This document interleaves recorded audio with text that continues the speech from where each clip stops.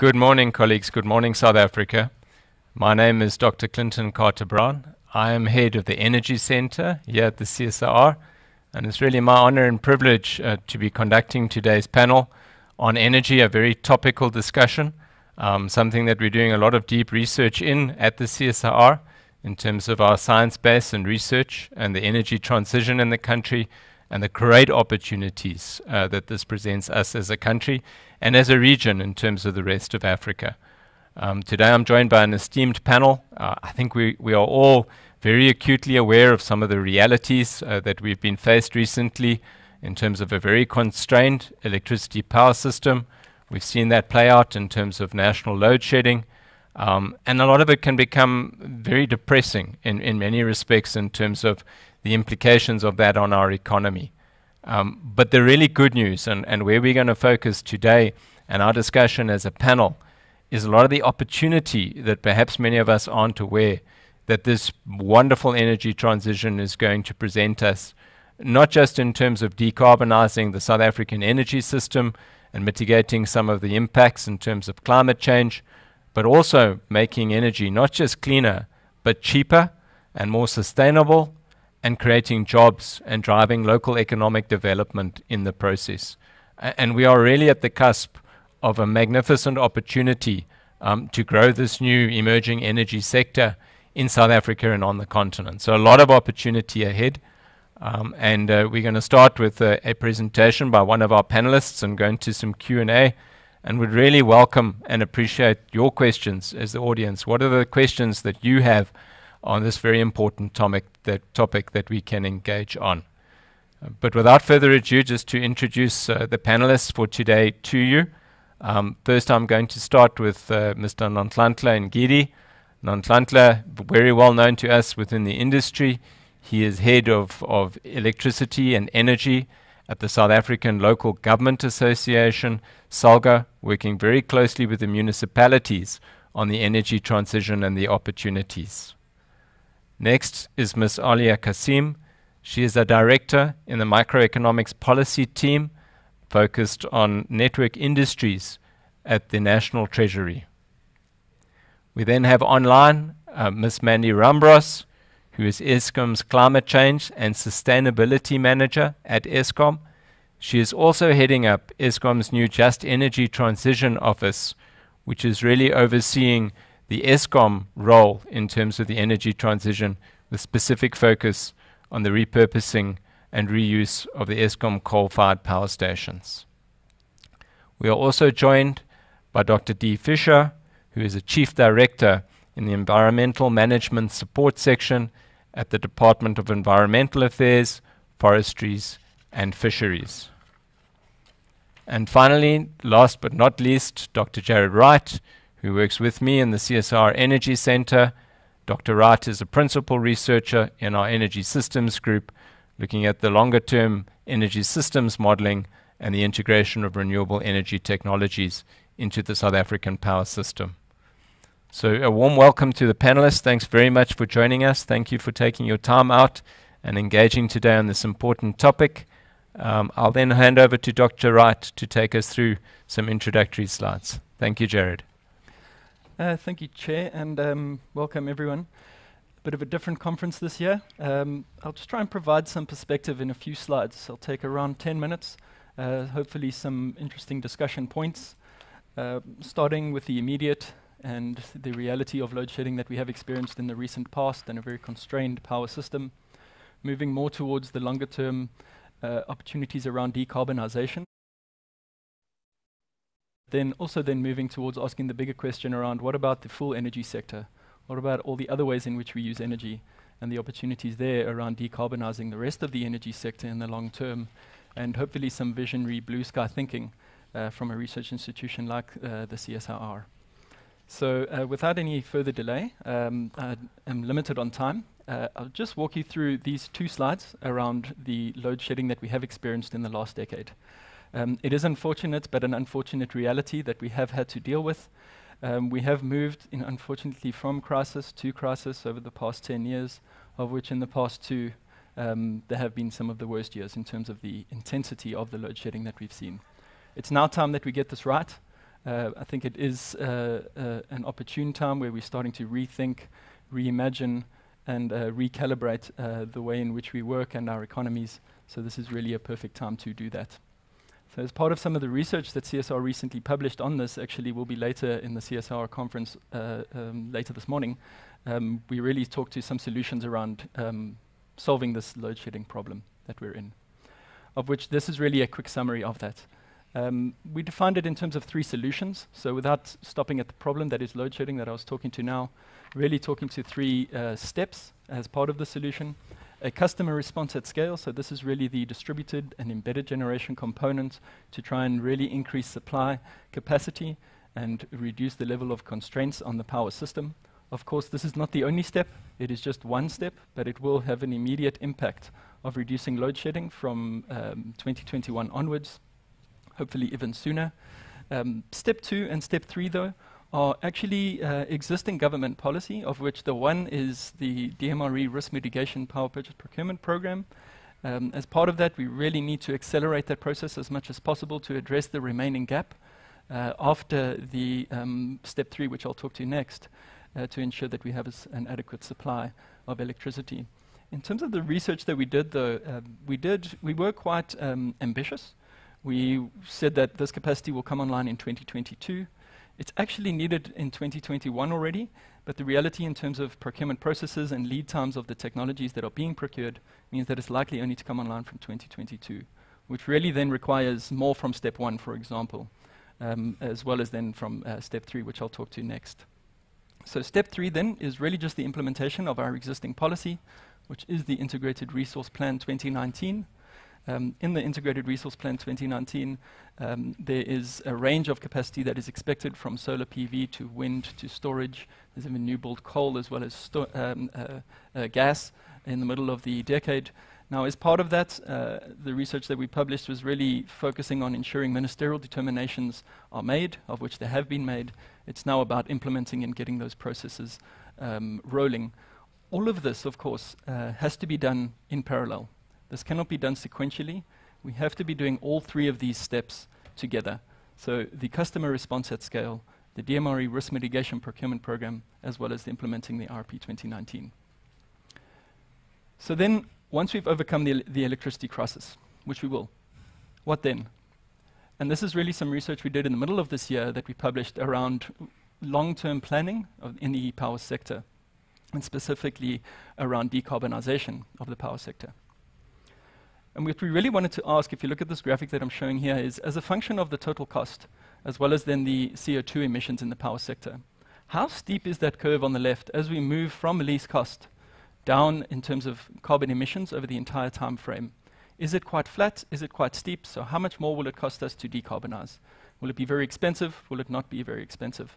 And then what ways in which, what, what manners in which can we, can we finance uh, that additional cost in terms of the uh, power system carbon ambitions that we may have?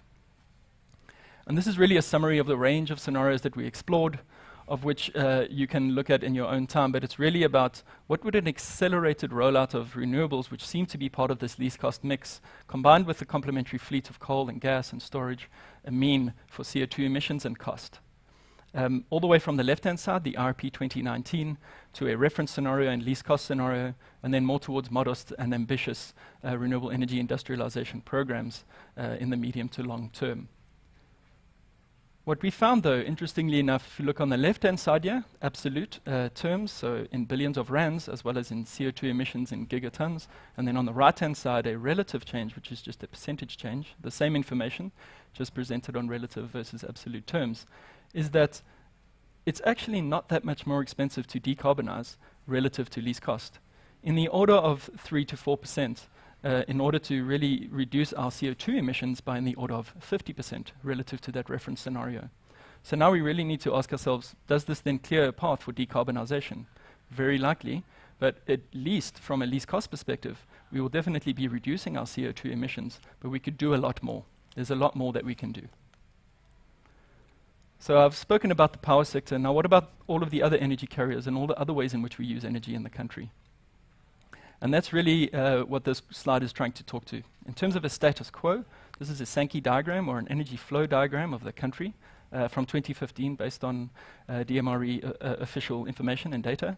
And what you really see from the left-hand side there in terms of domestic production is our energy is dominated by coal.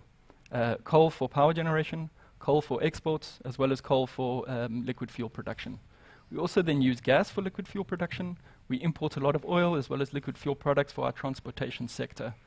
Electricity is used in a range of our end, end use um, sectors, commercial, industrial, residential, and agricultural. But in the residential sector specifically, we still use a lot of biomass. Now, the real question here is, well, I've only really covered that one component that I'm highlighting there, which is less than one third of our total energy end use is actually in electricity.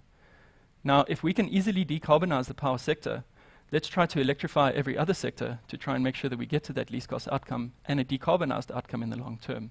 So increasing levels of electrification and electrification in the sense of using electricity in all of those sectors, but also increased electrification in South Africa's context in terms of ensuring universal electricity access so that everyone has access to that electricity and then can provide or use that electricity for the end services that they need to. So just in terms of this slide and the next slide, and then I'll finalize. Our direct emissions by sector in terms of energy is really dominated by electricity, as I was mentioning, dominated by coal, but then followed by transportation and industrial end use. I've put some of the statistical um, information there for your reference, but just for example, in the electricity sector, 50 to 55% of our CO2 emissions uh, comes from that, uh, whilst only 20 to 25 to 30% of our energy end use is in electricity at the moment. So decarbonization of electricity is a clear focus area. The other um, major areas, industrial and transportation, um, contribute 10 to 12% of our energy sector CO2 emissions, but 25 to 27% of our energy end use. And then for industrial activities, um, 15 to 20% of our energy sector CO2 equivalent emissions, um, but uh, using about 35 to 40% of our energy. So I just wanted one last slide, uh, if I move forward to the next one, just in the interest of time. But really to focus on, we've got high renewable potential in the electricity sector, very cost competitive and theoretically an unlimited technical potential as a result of the cost of these technologies as well as land availability. So now how do we decarbonize heating or the industrial sector for the most part, as well as transportation? For the most part, biomass and biofuels are limited and you, don't you do not want them to compete with food security. So you really need to do that sector coupling and couple them with electricity, whether it's directly or indirectly via energy carriers like hydrogen.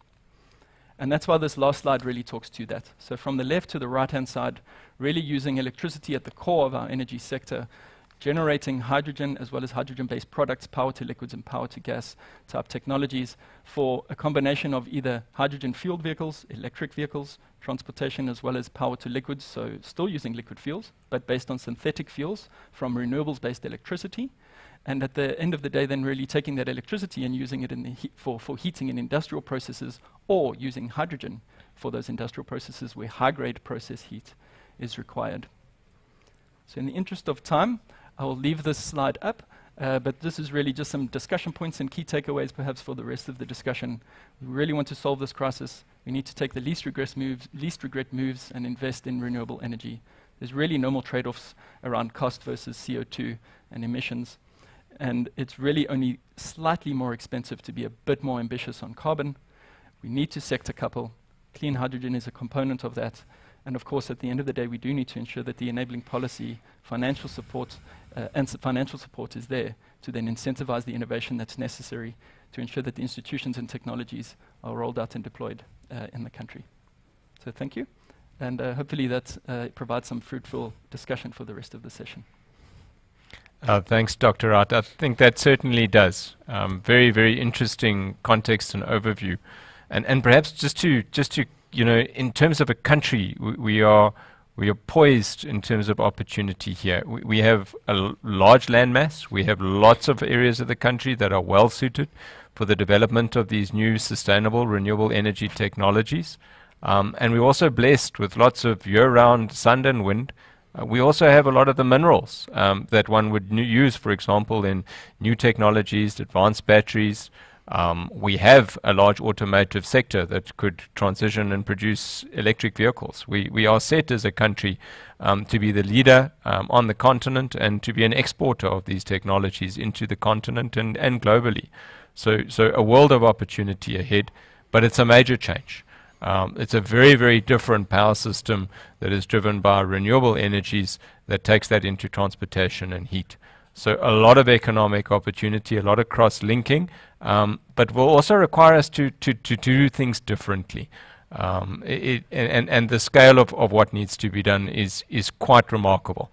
Um, and certainly from an environmental impact perspective, um, Dr. Dee Fisher, there's, there's, there's a lot of, of linking there in terms of, of getting ready or being prepared to be able to develop projects of this scale in these time frames. What is the department doing in terms of DEFF um, to support the development of this new industry? Um, thank you. Yes, I think we've been working, um, looking at the uh, facilitatory regulatory environmental framework uh, since about 2014, where we made some amendments to the uh, EIA regulations, uh, where we could look at um, uh, interlinked um, uh, facilities like your renewable energy facility, your power line, and your substation, and authorize those under one application um, but then have three different authorizations, which then could be uh, split off into, uh, for example, Eskom, if it was for the power line or the substation. Um, you're just using a Part 1 amendment, which just is a, an administrative amendment, so it doesn't go through uh, a very long, extended process. Uh, we've also been looking at strategic environmental assessments, where we've been looking at environmental sensitivity and the ability to look at renewables in specific areas. Um, and these have given us um, quite a few support, uh, decision support tools, as we call them, uh, which is uh, looking at, we've, we've identified corridors for energy generation, uh, for power grid and, and gas pipeline uh, specifically. And then we've also got, um, uh, we've identified a significant number of renewable energy development zones where we'd like to facilitate um, renewable energy pro projects. Um, this also provides Eskom with um, a, a, node for pr proactive uh, grid uh, investment um, if they wanted to do that. Uh, we've looked at um, amending the processes, so a more streamlined process, a basic assessment process rather than um, the longer process of the scoping. Mm. Uh, and we've also looked at re uh, reducing the review timeframes from the department point of view. So we've managed to get a 70% uh, reduction in timeframes wow. Uh, from, uh, from what we had before. Uh, we've got a number of generic EMPR's environmental management programs out, which means that a developer doesn't have to uh, continuously uh, produce um, environmental management plans. They can use a standard plan and they just have to uh, agree to implement those plans, which also saves a lot of time and review time frame from uh, time from the department.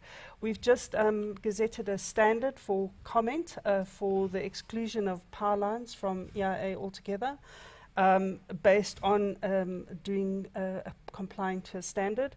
And there's uh, additional scope for PV um, there as well, although we haven't uh, tackled that yet, but there is that additional mm. scope. Um, then we've also got the screening tool, which is looking at, uh, it, it, it, identifies uh, environmental sensitivity of an area. So you could go in and have a look at the environmental sensitivity of a site, and from there you can assess uh, the kind of complications that your EIA process will provide you. And right from the beginning, you can start eliminating sites and go to sites with less environmental sensitivity, which then can also streamline your process and make it uh, uh, faster. We've then also provided for compliance statements rather than assessment reports. Mm. So if you're building in an area of low sensitivity, you're able to just produce a compliance statement, which is, is it, it saves a huge amount of time and effort, um, but it is um, tailor-made for the sensitivity, environmental sensitivity of the site. So, so we're not reducing any kind of um, um protection, but we're just uh, making mm. sure that everything is um, as you know at the level that it should be. We've also clarified um, the situation with batteries uh, if there is an EIA required and there is no EIA required on battery storage if it's part of your process. Um, and then um, I think, yes, as I've mentioned, there's additional scope for, um, for, um, uh, for more strategic environmental assessments around the Eskom power stations to facilitate um, a more streamlined process for the um, for the repurposing of those power stations when we get there, um, and also the opportunities in terms of a post-mining environment. If we can actually look at a win-win situation between PV, mining rehabilitation, and water treatment. Um, I think there's some win-wins that we could actually um, get in, in terms of that. And we've got three renewable energy development zones in post-mining environments now. So it's a, it's a great opportunity for us to actually um, investigate the opportunities that that would provide. Mm-hmm. Thank you very much. Great, excellent. Uh, thanks, Dr. Fisher. And, and I, uh, you know, I must say that I think the department is really to be commended for the very proactive um, route. And, and I think what Dr. Fisher's summarized in a few minutes has been at least six, seven, eight years of, of sustained work um, to have a very proactive approach around managing the environmental impacts and making it easier um, for projects to be developed in South Africa on scale um, and, and has networked deeply within the industry. a lot still to be done, but but thanks very much for, for, for, for the work there. You, you've touched on, on, on the linking to sort of post-mining landscapes and and the, the sort of repurposing and the linkages to, to Eskom and its coal fleet. Maybe I'll, I'll, I'll bring Mandy you in there in terms of um, the work the work from Eskom's perspective. I mean, we know that Eskom is operating a, a very large um, coal-fired power station fleet, um, and that some of it is reaching end of life, um, and that needs to be carefully managed as part of this transition. Uh, maybe if you could share with us some of the Eskom perspectives and the journey so far, and, and where, where you see that going. Thanks very much, uh, Clinton, and thank you so much to Jared and to, to Dee for, for their presentations as well. I think it perfectly lays the, the ground for what I want to talk about. The repurposing and repowering, I think, is a very exciting opportunity in the, in the midst of a crisis and in the midst of you know the, the social issues around uh, shutting down power plants. I think there's an exciting opportunity to turn all of that around. And I'm glad Jared's been so optimistic about the future and you know, all of the stuff that Dee just spoke about is extremely positive in terms of how we can enable these processes going forward. So our thinking then from an Eskom perspective, and when we talk about just transition, the just is as important as the transition. So the lower carbon future, pursuing a green future is a no-brainer, as I always say. You know, um, the numbers that Jared showed you in terms of new renewables versus new coal, is uh, the new renewables are cheaper. So it makes complete sense from a business perspective to go that way. But I think just as important is making sure that we have the socioeconomic development as well. So I think from a repurposing and repowering perspective, um, that is exactly what the, the opportunity is, is how do we continue to stimulate economic growth in those areas? Um, you know, you know that people know the areas well, Komatipoort, Pullenshope, where there isn't much happening. And as we shut down those plants, I think that situation gets worse. So we're looking at how do we stimulate economic development and how do we continue to make sure there's social upliftment in the area. So I think when we look at repurposing and repowering, and, and I'm particularly making those distinctions, because with repowering, you know, I think that's an obvious thing that we would do. How do we uh, stimulate those power stations in, in that we reuse them to produce electricity, have the revenue stream, and continue to provide power in the area. So looking at renewables, uh, looking at gas and battery storage and what are the various options. But I think repurposing itself also has a very exciting opportunities uh, in terms of how do we look at what are other purposes that we could use those that land for. And they're not mutually exclusive. You know, you could look at repowering Komati Power Station with PV and battery storage. Plus, can you look at agricultural activities on the land? Can you look at manufacturing, training activities on the land? Um, you know, so those are the kinds of ideas and opportunities uh, we're looking for. And then it's about creating sustainable jobs. You know, it's not jobs just that for today and tomorrow we have people that are unemployed, but how do you look at not just repowering, repurposing, and stimulating um, electricity production and other purposes, but creating really uh, sustainable jobs in, in the area. And I think, you know, for me, one of the, the biggest opportunities here is collaboration. If you look at the people on your on the panel and where we all come from, vastly different areas, but if we all work in collaboration together, I think we can make this transition a very positive thing. Not one of us in, in our organizations can do this alone. Um, so the enablers we're looking at is uh, collaboration, you know, with whether it's DTIC, with DEFF, uh, with people like the CSIR in municipalities, um, and then also the other enablers are financing um, and, and looking at things, not just approvals and authorizations, but things like licensing. How can we get that done uh, quicker? So I think uh, what I would like to say, you know, just just to close off this bit, is that I think it's something we need to work on collaboratively. We need to look at what the enablers are. There will always be barriers, but we need to talk about how we overcome those barriers and um, you know look at positives towards going forward in the transition. Thanks, Clinton. I'll stop there.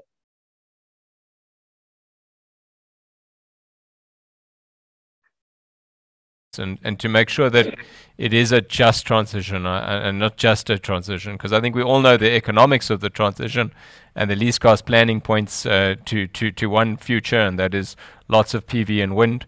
Um, but in the process, I think we've seen what happened, for example, in some of the mining areas, specifically with gold, um, and some of the devastating socio-economic consequence of an unplanned um, you know, withdrawal from from certain sectors. So so we, we need to, to, to plan this, and, and, and thanks to, to, to Eskom and the leadership there uh, in terms of how that is being managed with, with all spheres of, of, of government. And, and as you say, it's in collaboration.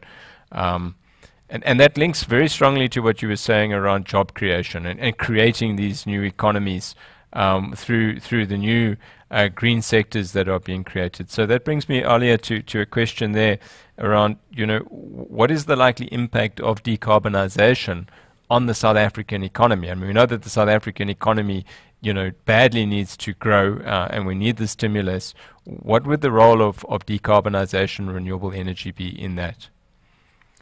Thanks, and thanks to the panel for the interesting insights that have been shared so far. Um, well, I mean, transitioning is inevitable, and the economic impact really depends on the pace and scale of decarbonization. Um, in South Africa, a number of our key trading commodities are particularly at risk um, as a global economy transitions away from fossil fuel uh, power. And uh, this, this puts um, pressure on the country's balance of trade. And we've already seen financial uh, disinvestment from fossil fuel based power production. Um, and mm. it's really now about managing those societal and environmental risks and, and potentially just looking at our balance of trade, we, we could look at what type of exports we could fill we could fill the gap with. So, um, you know, is it renewable energy components that can be exported into Africa? Is it alternate fuels?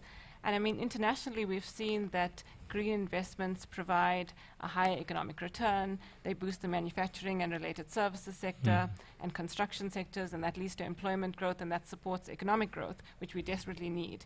Uh, we've we, we desperately needed before the crisis. Um, so these are even more unprecedented times um, where we need to think outside of the box. And in the long term, I think decarbonization has a number of benefits in terms of um, less emissions and less pollution, which leads to a healthier population. And I think now we've seen the importance of having a healthy, healthier population, and there's cost savings related to that. And also, mm. um, you know, this feeds into more productive capital processes. Um, and, you know, so research has shown that the renewable energy sector could create 1.6 million jobs by 2050. Um, there's opportunities for FDI. There's opportunities, um, I've mentioned export opportunities, um, and obviously there's growth areas like electric vehicles, the hydrogen economy, um, green buildings, um, and, and, and, and, a host of others, which I'm sure we'll get to later. Uh, but obviously, mm. I, I, definitely agree with um, Mandy in that, you know, the, the acute problems that South Africa faces is the high unemployment rate and poverty and inequality. And we have to, so uh, mm. the, the, the, so how we deal with decarbonization has to has to has to take into account the just transition, and the solution has to be inclusive, where there's a social compact, um, and I suppose there are interesting models all over the world that are being followed using blended finance to sort of transition away from fossil fuels, but at, at, the same time still protecting livelihoods. And I think those plans need to be implemented, or these those plans need to be put together um, immediately so that we're not reactive in the situation, because mm. um, uh, that could have a very um, negative impact on the economy. Thanks, Aalia. And, and, and, and that that that unpacking of that at grassroots level in terms of, of, of protecting everyone in the process and making sure that people have meaningful jobs and that we create jobs. um, is, is, perhaps something that that really um, transitions at the local municipal level. Because Nhlanhla, that's where a lot of the challenge or, or the tacky hits the tar. Um, you know, municipalities sit with the challenges of service provision. They sit with the realities of, of, of, of the economic growth and the opportunities there, but also the consequences um, if things aren't well managed. So, so it, it it, it's great to see South African municipalities not not just wanting to be part of, of, of this transition and opportunity, but in many cases actively standing up and wanting to drive that process and, and to own it and be part of it. Maybe just to share from a SALGA perspective um, the opportunities and, and what, what's being done in that space. Thank you. Thank you, uh, Dr. Clinton. Um, quite an interesting conversation. Thank you to the panel as well for the insight. Um, yes, you know, um, you know, starting from the adoption of the transition uh, by local government, I think it's something that happened even before my time at SALGA. If you look at SALGA, between 2012 and 2013, SALGA already developed um, a renewable energy energy efficiency strategy. Mm. So to mm-hmm. guide municipalities to take them through the transition, because I think uh, my my predecessors they, they actually saw this coming and wanted to prepare the municipalities to actually, uh, you know, go with the transition. So the adoption of the transition for municipalities is not just something that's happened recently. I think it's been happening, but more uncoordinated. I think before we hosted the summit of 2018, then when we hosted the summit of 2018, that's where we wanted to determine the outlook or the energy um, uh, roadmap for local government going to the future. And that is where we identified a lot of uh, business uh, models that municipalities could actually engage in. Lots of opportunities. And you know, I think we, what we need to be careful of, because I will talk, uh, I will talk to no less than 10 business models that are possible. But what we need to be careful of is when you are overwhelmed by opportunities and not know where to start, it becomes a problem. Mm-hmm. The bus misses you. Mm. So we have to all work with municipalities, especially as SALGA, as the representative, with all our partners to make sure that municipalities know where to start. Because the transition now, even the policy itself, presents a lot of opportunities for municipalities. I'm going to start, uh, in the interest of time, let me just go through quickly.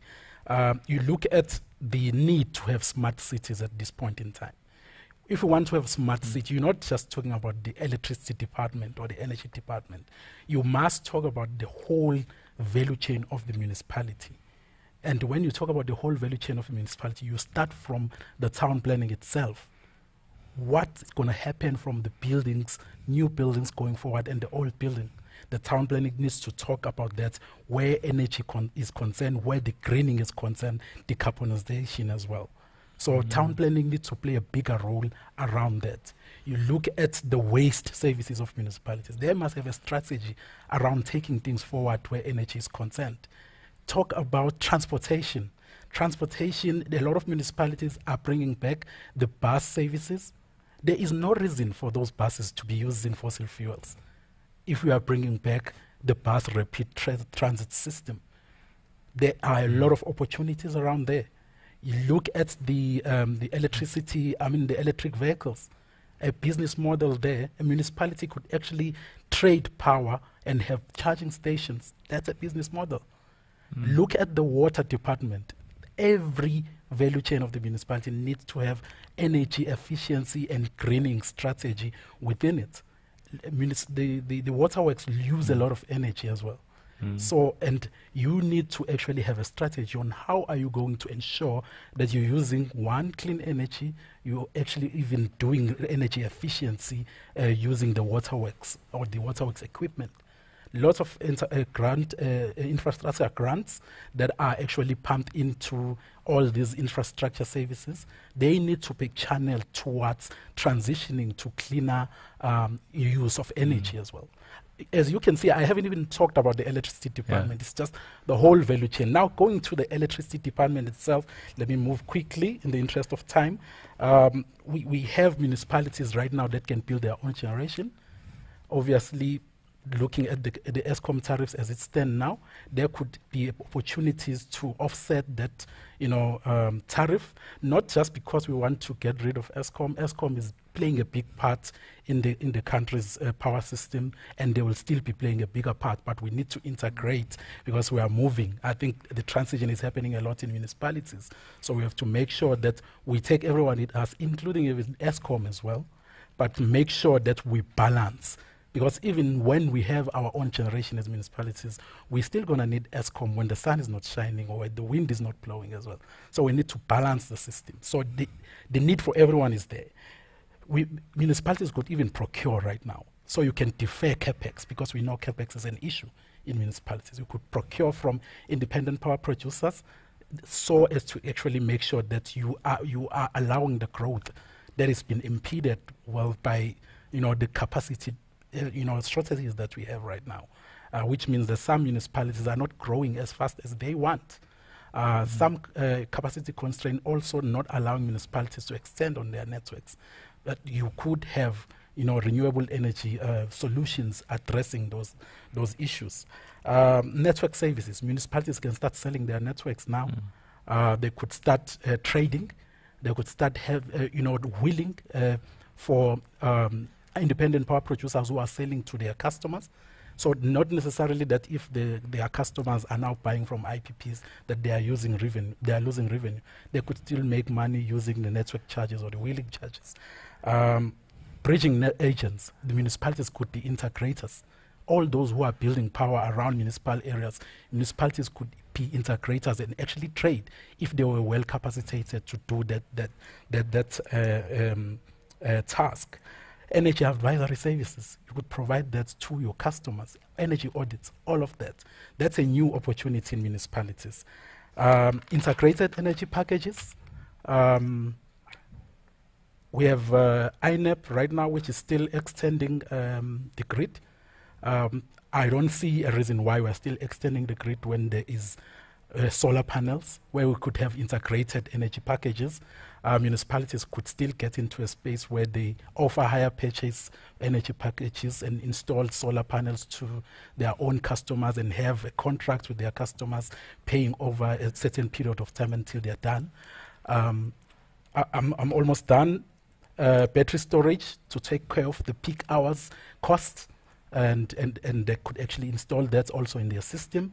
And lastly, what is currently happening now and what is picking up fast, small scale embedded, genera- uh, uh, embedded generation, where they are actually installing roof in, um, solar in their rooftops and allowing even their customers to, to sell back to them. So that's a new business model. It's, it's endless opportunities, but municipalities must know where to start because they might miss the bus. And I think SALGA is well positioned to actually take uh, take on that role.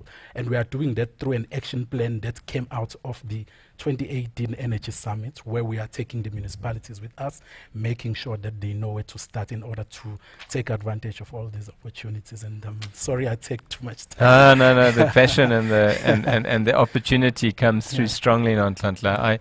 I, uh, you know, and, and, I think if there's youngsters out there that are, are, are in, in, sitting in school or, or even heading off to university and are wondering, you know, what career to follow. Um, if you've just been listening to what Nhlanhla was showing, I mean, we we are headed for, for massive growth and change and opportunity within this energy transition. So there is so much very interesting, wonderful things to do that scale from the enterprise level, from entrepreneurs that want to get in and create new products and services, through to the economists. There, there is so much great work to be done. Thanks, Nhlanhla.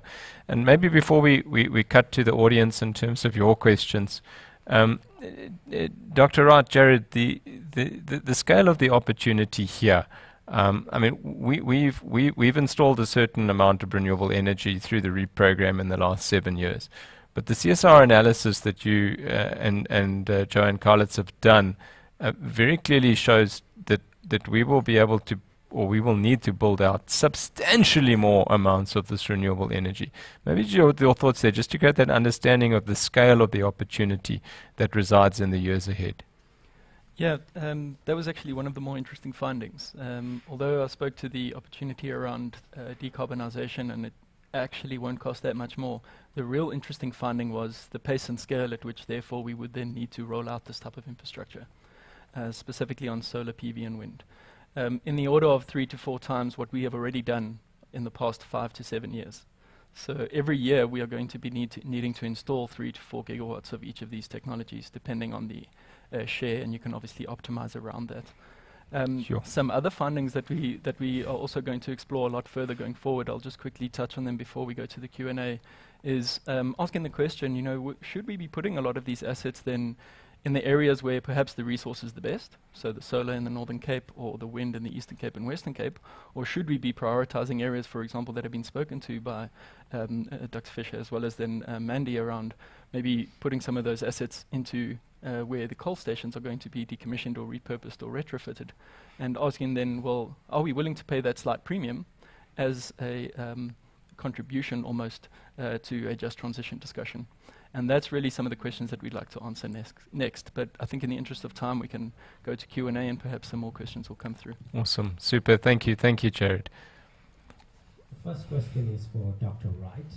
How does the recent media statement from NERSA, the Uh, confirming the Minister of Mineral Resources and Energy has approved the NERSA process license applications for self-generation facilities of one megawatt, even if they are not in compliance with the integrated resource plan? So the question is, does this approval provide what is needed as a part of what you have proposed as phase one unlocking of embedded generation? Uh, look, in at that small scale embedded generation level and up to that one megawatt limit, um, you're really only going to get a certain type of customer or types of customers that are then going to deploy um, embedded generation. So that could be typical households or small businesses or commercial enterprises, the big malls in a lot of metropolitan um, areas. At the end of the day, though, in terms of making big impact in the immediate and averting load shedding and trying to remove the system constraints, you really need to de- be deploying at scale. And the big impact comes from your energy intensive users, the mining houses, and others. And if you can start to open that market up to allow those types of customers to self generate, that's where you really make the big impact. And that will most definitely be more than one megawatt. By the way, it doesn't mean you cannot do that. You can still do that, but you do need to be licensed, which takes a particular process and also has time associated with that, of which we do not have much of. We do not have much time. And trying to talk to those three steps that we presented, you need to be doing all of that in parallel, and you need to be doing that all of all of that at scale. And that's why we intentionally kept the word there at scale. It's not just about the small generators and a lot of them. It's about that combined with the big um, intensive uh, energy users that will then be able to assist uh, uh, in alleviating the immediate constraints and hopefully setting up for um, a successful decade ahead. The CSIR is passionate about energy and has created the Energy Center. What are some of the green energy offerings on the table and when can we see them? I guess maybe I'll take that question. A great question. Um, we're doing a lot of deep work at the moment, and, and we'll do more, um, and, and across a number of key technologies. Um, we are busy with the accreditation of our solar PV reliability research laboratory, where we'll be providing R&D services and support to entrepreneurs and local assemblers, specifically to make sure that the local solar PV uh, equipment and infrastructure that's deployed in South Africa will, work as intended in our conditions and under our operating conditions. So, so that is a new service and, an exciting area that we're doing with our energy supply and demand team. Um, we, we, are, we are doing some fundamental research looking at, for example, offshore wind. Um, we know that we have a lot of um, onshore wind, um, you know, environmentally suitable areas, but we also have an excellent offshore wind uh, capability. So, so we are looking at, at what those economics might look like, and we're doing some some excellent deep fundamental work in batteries and battery chemistries. Some of the early lithium ion uh, development of technology was actually started within South Africa and within the CSIR. Um, and over the last 10 years, we've revisited our, our battery research, and we are in specific doing work in battery cathodes, uh, which is a big cost component of advanced batteries, um, looking to, to beneficiate South African minerals. We've got, for example, lots of manganese, and manganese is, is one of the key ingredients in terms of cathodes. So, looking at how do we then create um, recyclable, sustainable, cost effective batteries that are built on South African minerals that we can localize um, and deploy in South Africa and the region. So, so those are just some of the examples. Um, we're doing lots of, of work in other areas as well, um, but I thought it would be great to, to share those, those specific technologies where we're doing some fundamental work. Is SALGA willing to pump funding into CSIR energy research and development outputs? Of course. That's a great question. it is a great question. Um, understanding the funding model of SALGA, I would say SALGA is always willing and is currently doing that through international partners. The international partners that we partner with who have the who has the funding to push the energy agenda and we, we are always supportive of that. So, mm. Yeah. Yeah, and, I must say, thanks to Nonhlanhla, the role there. I mean, because it's teamwork. It's what Mandy was saying in terms of the collaboration, and you know, there there there, there are partners out there that that that having the municipalities and having Eskom and having the department and treasury all standing with us um, certainly makes it much easier then in terms of connecting these dots. All right. I think th I think that then brings us to to the end of the session. Thanks for those great questions, and a special thanks to the panelists, um, Jarrad, Aalia, Dee, Nonhlanhla. It's it's been a real honor and a and a, and a privilege. It's it's amazing how this time has flown by. Mm. Um, I, would love us to to have another follow up in a in a year or two years time, um, and um, you know see where, where we are with the transition. But thanks everyone. Thanks for your participation. Just one more question, if you don't. Oh, sure. On decarbonization, is there an envisaged plan for what happens to the existing coal resources, given the possible increased renewable energy penetration in the years to come? Maybe Jarrad, you could touch on that, um, and, and maybe also Mandy as well. I mean, it's a it's a very topical question around. Yeah. We've we've got lots of coal, and we built an economy on cheap coal um, when that was the technology of choice. When when building large coal-fired power stations was the international norm and was the accepted and the most economic way of building out an energy system. And South Africa did it did it very, very well. We built out a, a huge and some of the largest coal-fired power stations in the globe, um, and with excellence. Um, and that has really driven our economy over many years. Um, and, and our electricity has been amongst the cheapest um, globally, and still is uh, amongst the cheapest globally. And we must be clear on that. Despite the, the increases, um, you know, Eskom have, have really um, done remarkably well over the last 30 years in terms of um, uh, coal-fired electricity, uh, despite the immediate challenges in terms of some of the, the present availability.